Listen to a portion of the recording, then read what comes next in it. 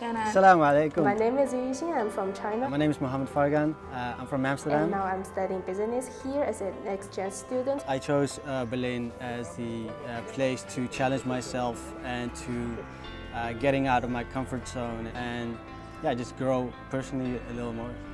I was like, okay, I could pick things that I already know or I could pick things that are like a bit different in a way. I really wanted to develop as a designer, but also as a person.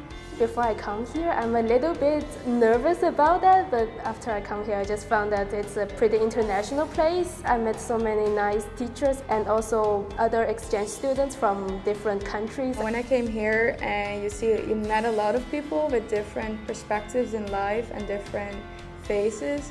I mean, if if you want to go study abroad and don't and just like doing your own thing i think berlin is is an awesome place to do that. And the university gives you so many opportunities to get to know each other uh, especially when they have the, a lot of nationalities in here. You can learn a lot of, of each other and the students in here i found out they're really helpful if you need something if you need some inspiration or this and that. It's it's a good university to go to. Yeah.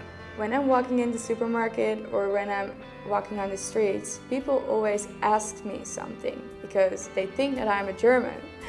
And then I'm like, oh no, sorry. And then they're, oh, sorry. And they're all in shock. And sometimes that is really funny. And I just found that people here from Berlin, they're just so kind and makes me feel so good. The university is a good place to uh, come and study here in Berlin because they don't judge you in the way they may be doing in Amsterdam. They kind of have their own thing going on and nobody's paying attention about your weirdness, what people could say. So it's a good way to like be yourself uh, and, and, and just finding yourself in general. It's a, it's a good city to do that. It opened my eyes for other perspectives and other departments within design. I really wanted to learn and I'm definitely